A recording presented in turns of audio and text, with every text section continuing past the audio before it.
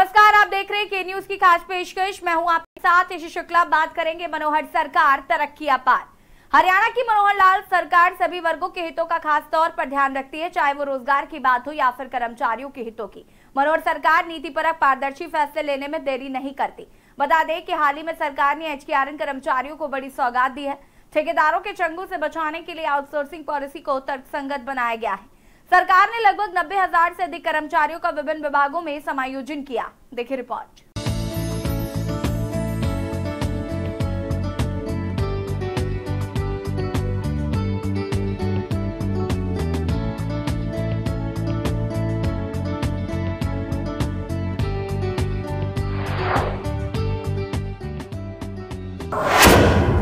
हरियाणा में H K are कर्मचारियों को बड़ी सौगात। मनोहर सरकार ने किए बड़े ऐलान। ठेकेदारों के चंगुल से बचाने के लिए आउटसोर्सिंग पॉलिसी। पॉलिसी को तर्क संगत बनाया। लगभग नब्बे हज़ार से अधिक कर्मचारियों का विभिन्न विभागों में समायोजन। हरियाणा के मुख्यमंत्री मनोहर लाल ने कच्चे कर्मचारियों को ठेकेदारों के चंगुल से बचाने के लिए आउटसोर्सिंग पॉलिसी को तर्कसंगत बनाकर लगभग नब्बे हज़ार से अधिक कर्मचारियों को विभिन्न विभागों में समायोजित करके मनोहर तोहफा दिया है। तो वहीं कर्मचारियों के नाम पर राजनीति करने वाले सो कॉल्ड कर्मचारी यूनियनों के प्रधानों को करारा जवाब भी दिया है, जिसकी चर्चा देश भर में हो रही है। बता दें कि कच्चे कर्मचारियों को ईपीएफ अंशदान व ईएसआई के नाम पर ठेकेदारों के द्वारा किए जा रहे शोषण की शिकायतों को मुख्यमंत्री ने गंभीरता से लिया है और कर्मचारियों को एक ही छत के नीचे सभी सुविधाएँ मुहैया कराने के लिए हरियाणा कौशल रोज़गार निगम का गठन करवाया है। सरकार ने एक लाख से अधिक युवाओं को दी नौकरी। मुख्यमंत्री मनोहर लाल मानते हैं कि लोकतंत्र में कर्मचारी सरकार चलाने के लिए अहम कड़ी होता है। इसी को ध्यान में रखते हुए गत नौ सालों में सरकारी कर्मचारियों की नियमित भर्ती प्रक्रिया को पारदर्शी तरीके से मेरिट आधार पर पूरा कर एक लाख दस हज़ार से अधिक युवाओं को नौकरी दी गई है। इसके अलावा लगभग साठ हज़ार से अधिक पदों की भर्ती प्रक्रिया विभिन्न चरणों में है। जिन विभागों में तत्काल कार्यबल की आवश्यकता है, उसे पूरा करने के लिए हरियाणा कौशल रोज़गार निगम एक अहम भूमिका निभा रहा है। बता दें कि 20 दिनों में विभागों की आवश्यकता के अनुसार कर्मचारियों को नौकरी के जॉब ऑफ़र लेटर किए जाते हैं। तो इस प्रकार से इस कार्यक्रम के माध्यम से जो इलीगल तरीका युवकों को विदेशों में भेजने का, चाहे कबूतरबाजी है, डोंकी है, अथवा गलत तरीके से विदेश भेजने के लिए जो उनको प्रोत्साहन दिया जाता है, वो रुकेगा। और हमने तो यहाँ तक भी कहा है कि विदेश जाने के लिए जो जो नौजवान हमारी जो पढ़ाई करके कॉलेज से अथवा यूनिवर्सिटी से निकलते हैं, ग्रेजुएशन, पोस्ट ग्रेजुएशन के बाद, उनको फ्री पासपोर्ट देने की व्यवस्था भी मैंने की है। हज़ारों ऐसे बच्चे फ्री पासपोर्ट लेकर के भी बाहर निकले हैं, ताकि विदेश जाने के लिए उनको ये सुविधाएँ ये दी जा सके। तो मेरा आपसे निवेदन है कि यदि आप एच के माध्यम से अपना नाम सूची में लिखाना चाहें, ताकि हमारे पास एक डाटा बैंक ये तैयार रहे कि आपकी योग्यता के हिसाब से, आपकी रैंकिंग के हिसाब से कहीं भी आपको नौकरी दिलाई जा सके तो आप आज ही जो पोर्टल हमारा बना है H K R N H K R N L dot I T I Haryana dot GOV dot in इसको खोल करके इस पे अपना पंजीकरण करें ताकि आप भी एक, जिसको कहना चाहिए पंक्ति में, एक क्यू में लग जाए कि आपके रैंक रैंकिंग के हिसाब से आपको भी काम की ऑफ़र दी जा सके। हम आपको काम की ऑफ़र देते हैं। यदि आप स्वीकार करते हैं, तभी आपको उसमें ज्वाइनिंग कराई जाएगी। इसमें भी आपको एक सुविधा जो है वो दी जाएगी। आप, हम जानते हैं सब कि सरकारी नौकरियाँ, उनकी एक सीमा है। क्योंकि हर वर्ष 20 से पच्चीस हज़ार नौकरियाँ ही मध्य ऑन एवरेज ये निकल पाती हैं। अब ये ठीक है कि पिछले कई वर्षों में हम सरकारी नौकरियाँ शायद उतनी नहीं दे पाए तो अभी आगामी इस छह महीने के अंदर अंदर साठ हज़ार नई नौकरियाँ ये हम देने जा रहे हैं। बता दें कि राजधानी चंडीगढ़ में पहली बार मुख्यमंत्री के डिजिटल बोर्ड लगे हैं देश के प्रतिष्ठित विश्वविद्यालय पंजाब यूनिवर्सिटी के छात्र भी मुख्यमंत्री की भर्ती प्रक्रिया के कायल हैं। पिछले नौ सालों की मनोहर सरकार की उपलब्धियों के पहली बार चंडीगढ़ के प्रमुख चौराहों व सार्वजनिक स्थानों पर डिजिटल बोर्ड लगे हैं rose garden, art college, rock garden और सुखना लेक सहित कई जगहों पर शैक्षिक भ्रमण के लिए आने वाले विद्यार्थी भी डिजिटल विज्ञापनों पर दर्शाए गए हैं। वो बिन पर्ची, बिन खर्ची योग्यता के आधार पर सरकारी नौकरी के बारे में गाइड से भी पूछ सकते हैं। इसके अलावा देश विदेश से आने वाले सैलानी भी इन विज्ञापनों में दिलचस्पी दिखा रहे हैं। बुद्धिजीवी वर्ग, चाहे वो मीडिया से जुड़ा है या साहित्य से या फिर सिविल सोसाइटी से, हर कोई ये जानकारी ले रहा है, ये प्रभावशाली मनोहर लाल कौन है? सीएम मनोहर लाल का मानना है कि लोकतंत्र में सरकार चलाने के लिए कर्मचारी अहम कड़ी होते हैं और इसी को ध्यान में रखते हुए नौ सालों में योग्यता के आधार पर सरकारी कर्मचारी की नियमित भर्ती प्रक्रिया पारदर्शी तरीके से पूरी की गई है और एक लाख दस हज़ार ऐसी अधिक युवाओं को नौकरी दी है। साठ हज़ार से ज़्यादा पदों पर भर्ती प्रक्रिया विभिन्न चरणों में है। हरियाणा कौशल रोज़गार निगम उन विभागों को भरने में महत्वपूर्ण भूमिका निभा रहा है, जिसमें तत्काल कार्यबल की आवश्यकता है। लगभग 20 दिनों में विभागों की आवश्यकता के अनुसार कर्मचारियों को नौकरी की जॉब ऑफ़र लेटर जारी कर दिए जाते हैं। मुख्यमंत्री मनोहर लाल ने कहा है कि राज्य सरकार ने युवाओं को ठेकेदारी प्रथा से मुक्ति दिलाते हुए हरियाणा कौशल रोज़गार निगम का गठन किया है। इसके माध्यम से शैक्षणिक योग्यता आय आदि विभिन्न मानदंडों पर पारदर्शी तरीके से नौकरी दी जा रही है। और EPF, ESI, labour welfare fund आदि का भी लाभ दिया जा रहा है। पहले से अनुबंध आधार पर कार्यरत एक दशमलव शून्य आठ लाख से अधिक मैन पावर को निगम में समायोजित किया गया है। इसके अलावा अनुबंध आधार पर सत्रह नए कर्मी भर्ती किए गए हैं। आगामी छह महीने में साठ हज़ार होंगी भर्तियाँ। बता दें कि पिछले दिनों मुख्यमंत्री मनोहर लाल ने सीएम की विशेष चर्चा कार्यक्रम के तहत ऑडियो कॉन्फ्रेंसिंग के माध्यम से हरियाणा कौशल रोज़गार निगम के तहत लगे कर्मचारियों से संवाद किया था। इस दौरान उन्होंने कहा था कि पिछले नौ सालों में वर्तमान राज्य सरकार ने एक लाख दस हज़ार युवाओं को बिना खर्ची व पर्ची की योग्यता के आधार पर सरकारी नौकरियाँ दी हैं। साथ ही आगामी छह महीने में साठ हज़ार और भर्तियाँ करने जा रही हैं। अब पैसा व अन्य लाभ काम करने वालों को सीएम मनोहर लाल ने कहा कि ठेकेदारों के माध्यम से अनुबंध आधार पर काम कर रहे कर्मचारियों को पूरा वेतन नहीं मिलता था। EPF, ESI, labour welfare fund आदि की सुविधा नहीं दी जाती थी। इस प्रकार की कई शिकायतें सरकार को मिलती थी और विभिन्न कर्मचारी संघों की मांग भी थी कि ठेकेदारी प्रथा को बंद किया जाए। कभी कभी तो ठेकेदारों और विभागों के बीच एक नेक्सस बन जाता था कि संख्या कुछ और बताई जाती थी कि 50 पदों पर मंजूरी ली जाती थी और वेतन भी 50 पदों का ही जारी किया जाता था। लेकिन वास्तव में 40 या 45 को काम पर रखा जाता था। कभी कभी तो नाम किसी का दिखाया जाता था और काम करने के लिए किसी अन्य व्यक्ति को भेज दिया जाता था। उदाहरण के तौर पर रामचंद्र का नाम बताया जाता था, लेकिन श्याम प्रसाद काम करता था और पैसे किया और मोहन प्रसाद को मिल गए। इस प्रकार सरकार को और व्यक्तियों को नुकसान होता था, इसलिए राज्य सरकार ने ठेकेदारी प्रथा को समाप्त कर एच के आर एन बनाया। साथियों, वैसे तो मैं हर शनिवार किसी न किसी लाभार्थियों की श्रेणी से बात करता हूँ, लेकिन आज जो मैं बात कर रहा हूँ, वो केवल लाभार्थी नहीं, बल्कि एक व्यवस्था परिवर्तन के साक्षी है। और एक ऐसा व्यवस्था परिवर्तन जो शायद किसी ने सोचा भी नहीं होगा। क्योंकि सरकारी नौकरी के साथ साथ जब भी कभी किसी विभाग को आउटसोर्सिंग के नाते ज़रूरत पड़ती थी तो कर्मचारियों को किसी न किसी ठेकेदार के माध्यम से लिया जाता था। और ये जो ठेकेदारी प्रथा थी, इसके अंदर कितनी शिकायतें हमको मिलती थी कि ठेकेदारी के माध्यम से तनख्वाह दिखानी कुछ और देनी कुछ। साइन कराते थे पंद्रह हज़ार पर या अठारह हज़ार पर, और देते थे ग्यारह हज़ार अथवा बारह हज़ार। और साथ में कभी कभी तो ठेकेदारों का और विभाग का इतना नेक्सस बनता था कि संख्या बताई गई है पचास, और तनख्वाह पचास की निकल रही है, और लगाए गए हैं वहाँ चालीस या पैंतालीस। तो इस प्रकार के दोहरे नुकसान, सरकार का भी नुकसान, और जो व्यक्ति लगते थे, उनका भी नुकसान। और कभी कभी तो नाम किसी का दिखाया जाता था और काम करने के लिए किसी और को भेज देते थे। रामचंद्र का नाम बताया, श्याम प्रसाद ने काम किया और मोहन प्रसाद को पैसे मिल गए और ये झगड़े लगातार बने रहते थे।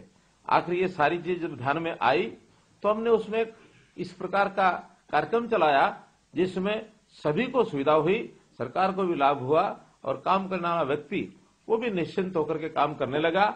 हमने शुरू किया हरियाणा कौशल रोज़गार निगम और इस कौशल रोज़गार निगम के माध्यम से एक प्रकार से ठेकेदारी प्रथा उसकी समाप्ति हुई जो कि बहुत से ऐसे कर्मचारी संगठन जो थे पहले से मांग करते थे कि ठेकेदारी प्रथा को समाप्त किया जाए उन्होंने कहा कि निगम के तहत लगाए गए सभी अनुबंधित कर्मचारियों को EPF, ESI, labour welfare fund आदि की सुविधाएँ दी जाती हैं।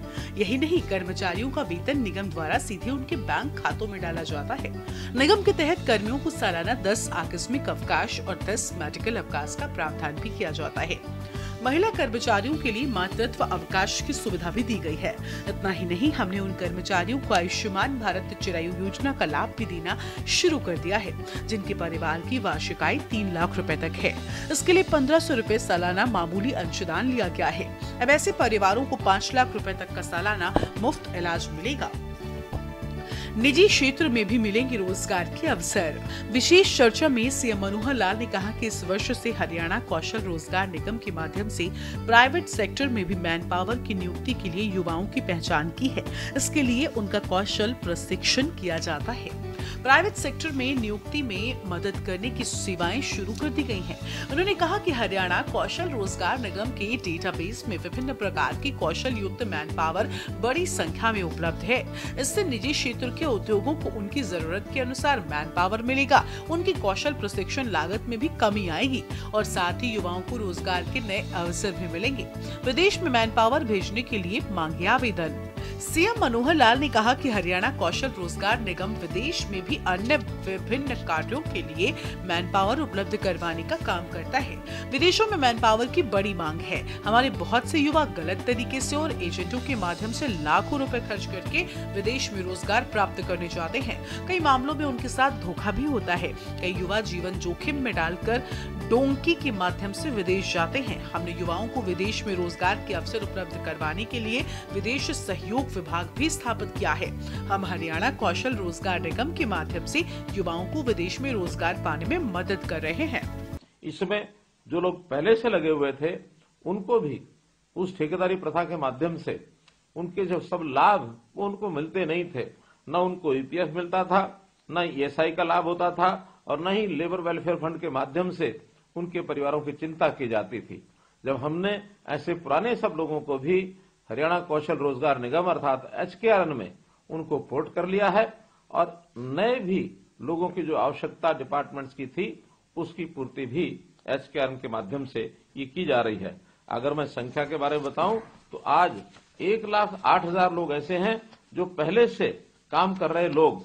वो एच पोर्टल पर पोर्ट हुए हैं। और सत्रह हज़ार सात सौ पचासी ऐसे नए लोगों को भी इसमें रोज़गार दिया है। तो इस प्रकार से एक पारदर्शी तरीके से इस काम को किया गया है। अब जो नए लगते हैं, उनको कोई किसी की सिफारिश से, न किसी नेता की सिफारिश से, बल्कि एक मेरिट के आधार पर उनकी परिवार की आय कितनी है, व्यक्ति की योग्यता कितनी है, और व्यक्ति रहता कहाँ है क्योंकि कम आय होने के नाते से योजना बनाई गई कि जहाँ व्यक्ति की आवश्यकता है काम करने की, उसी ब्लॉक या उसके आसपास का व्यक्ति ही नौकरी मिले, ताकि इतनी कम आय में अगर वो 100 किलोमीटर, डेढ़ सौ किलोमीटर दूर जाता है तो उसके आने जाने की कठिनाई या वहाँ रहने की कठिनाई, इसको भी हमने ध्यान किया है। तो इस प्रकार से हमने जो पहले चरण में ऐसे लोगों को नौकरी दी, जिनकी परिवार की आय एक लाख रुपया या इससे कम थी दूसरे चरण में एक लाख रुपए से लेकर के एक लाख रुपए अस्सी, एक लाख अस्सी हज़ार रुपए तक की जो आय के परिवार थे, उनको नौकरी दी है। तो ऐसे जो सब एक योग्य प्रकार से इस काम को हमने आगे बढ़ाया है। सीएम मनोहर लाल ने कहा, हाल ही में इसराइल दुबई और यूनाइटेड किंगडम द्वारा मैन पावर की मांग की गई है।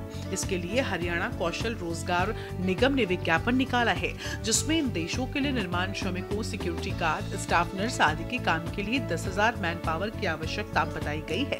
इनमें पच्चीस ऐसी चालीस साल की आयु के इच्छुक युवाओं को निगम के पोर्टल आरोप पंजीकरण करने को कहा गया है। ये पहली बार हो रहा है की कोई राज्य सरकार अपने युवाओं को विदेश में रोज़गार पाने में सीधे सीधे ही मदद कर रही है। सीएम की प्रदेश के युवाओं से अपील। और न केवल नौकरी दी बल्कि इसके बाद हमने जो सरकारी कर्मचारियों को सुविधाएँ मिलती हैं उनमें भी बहुत सुविधाएँ दी हैं। दस आकस्मिक अवकाश ऐसे ही दस मेडिकल अवकाश और महिला कर्मचारियों के लिए मातृत्व अवकाश मातृत्व अवकाश इसकी भी सुविधा हमने दी है।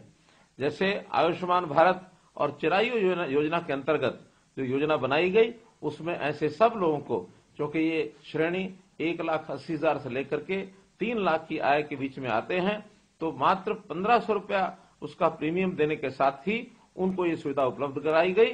पंद्रह सौ रुपया एक साथ देने के बजाय मासिक एक सौ पच्चीस रुपया अपनी सैलरी में से कटा करके और इस सुविधा को, इनको मुहैया कराया गया है, ताकि स्वास्थ्य की दृष्टि से ऐसे सब परिवारों की ये जो आयुष्मान योजना पाँच लाख रुपए प्रति परिवार, इसका सुलभ एक व्यवस्था इनके लिए की जा सके। केवल इतना ही नहीं तो हमने इस पोर्टल के माध्यम से प्राइवेट नौकरियों को भी, यानी एक प्रकार से देने के लिए योजना बनाई है, जो प्राइवेट एंटरप्रेन्योर हैं, उद्योगपति हैं, वो भी इस पोर्टल के माध्यम से नौकरी प्राप्त कर सकते हैं। और साथ ही विदेश में रोज़गार, विदेश में रोज़गार के लिए भी, क्योंकि युवा शक्ति बहुत बड़ी आकांक्षा रखते हैं कि हम विदेशों में जाकर रोज़गार करें। बहुत शिकायतें आई हैं कि वहाँ गलत तरीके से युवा एजेंटों के माध्यम से लाखों रुपया खर्च करके विदेशों में रोज़गार के लिए जाते हैं और वो भी इलीगल तरीके से।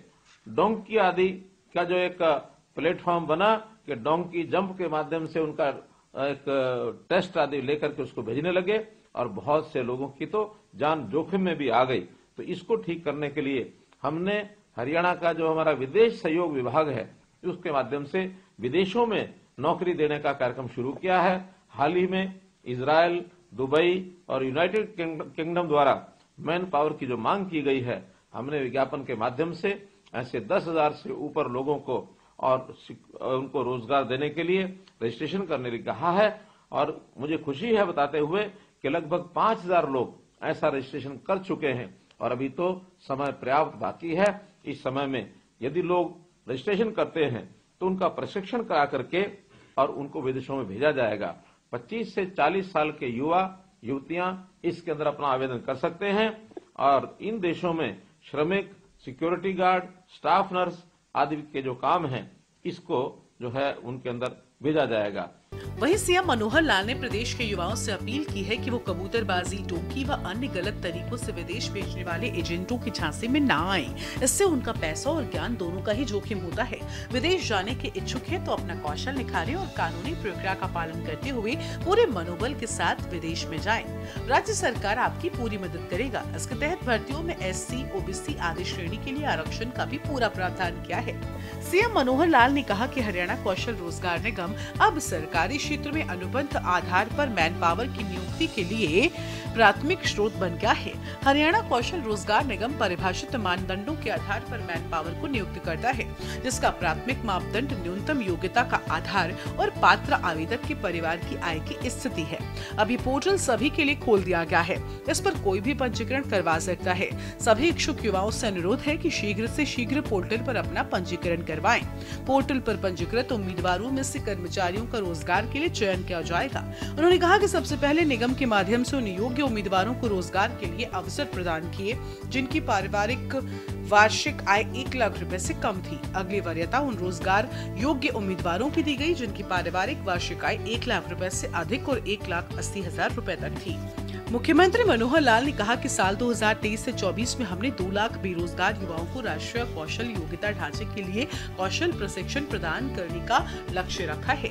इसके लिए हरियाणा कौशल विकास मिशन के माध्यम से विशिष्ट प्रशिक्षण और पाठ्यक्रम चलाए जा रहे हैं। अभी तक अस्सी हज़ार युवाओं को कौशल प्रशिक्षण प्रदान किया जा चुका है ताकि वो अपने पैरों पर खड़े हो सके और साथ ही युवाओं को आधुनिक रोज़गार परक विषयों का शिक्षण व प्रशिक्षण उपलब्ध करवाने के लिए श्री विश्वकर्मा कौशल विश्वविद्यालय न्यायालय की स्थापना भी की गई है। वहीं मुख्यमंत्री ने जनसंवाद पोर्टल पर दर्ज शिकायतों और सुझावों को लेकर पाँच विभागों की शुक्रवार को अपने निवास संत कबीर कुटीर में समीक्षा बैठक की। उन्होंने अधिकारियों को निर्देश दिए कि जन संवाद पोर्टल पर आई शिकायतों को गंभीरता से लेते हुए उनका जल्द समाधान करें। सीएम विंडो पर आई शिकायत पर उचित कार्रवाई न करने के मामले में मुख्यमंत्री मनोहर लाल ने एच रेवाड़ी के संपदा अधिकारी विजय कुमार को निलंबित कर दिया है। बता दें कि रेवाड़ी निवासी सविता ने उनके प्लॉट की गलत डेमोक्रेशन कराने की सीएम विंडो पर शिकायत दी थी, जिसके बाद ये कार्रवाई की गई है। स्पेशल डेस्क के न्यूज़ इंडिया